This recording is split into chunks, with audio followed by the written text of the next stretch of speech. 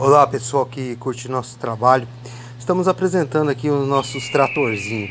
A gente fez um apanhado de vários modelos que a gente já fez e vai estar mostrando nesse vídeo para vocês. Primeiramente nós apresentamos esse esse John Deere antigo aí, que é um John Deere modelo daqueles bem antiguinho mesmo. Fiz o aradinho dele.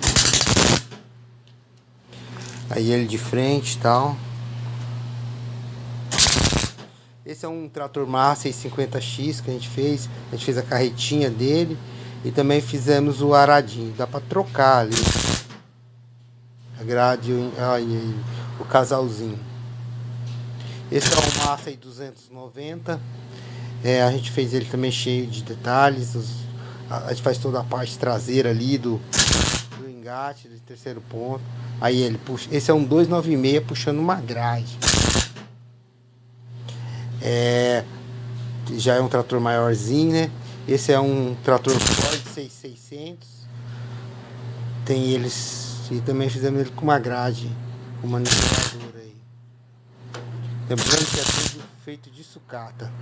Esse é um trator Deus, um trator mais antigo, modelo que a gente tentou representou aí, todo feito de sucata. Esse é um trator Valmet 88, 880. Esse é um um valmetão, traçadão que a gente fez.